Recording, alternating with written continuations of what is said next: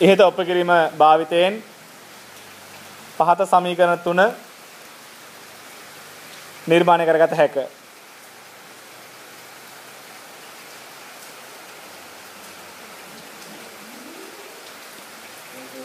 හරි. හොඳයි ඇඳගනක ABC කියලා ත්‍රිකෝණයක් ඒකේ ඉදිරි පාදත් අපි කතා කරගත්ත විදිහට නම් කරගෙන ABC කියලා ත්‍රිකෝණයක් ඇඳගෙන ඉස්සලන්නේ අපි. ඒ වගේම ABC කියලා ත්‍රිකෝණ ඇඳගන්න.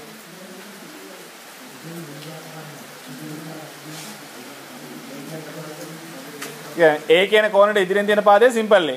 B කියන කෝණයට ඉදිරියෙන් තියෙන පාදය සිම්පල් B. C කියන පාදයට කෝණයට ඉදිරියෙන් තියෙන පාදය සිම්පල් C. අනින්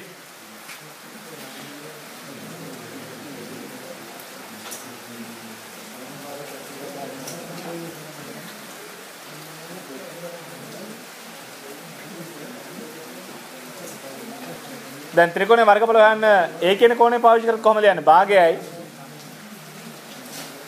B පාදයේ වැඩි කිරීම C පාදයේ වැඩි කිරීම sin A.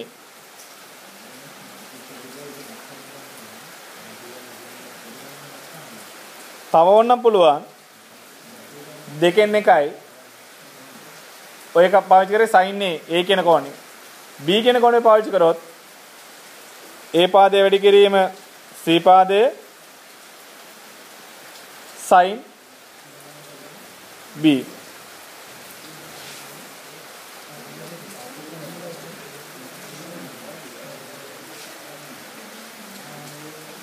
Uh, C කියන කෝණය පාවිච්චි කරොත් දෙකෙන් එකයි. A කෝණය sorry A පාදය B පාදය වැඩි කිරීම sin C එහෙනම් ඔය විදිහට මට සමීකරණ තුනක්